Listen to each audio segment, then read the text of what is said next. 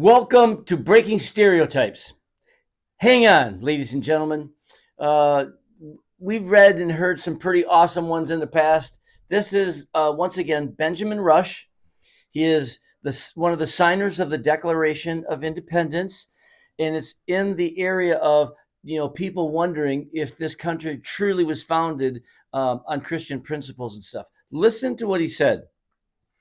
I do not believe that the Constitution was the offspring of inspiration, but I am as perfectly satisfied that the union of the states in its forms and adoption is as much the work of a divine providence as any of the miracles recorded in the Old and New Testament.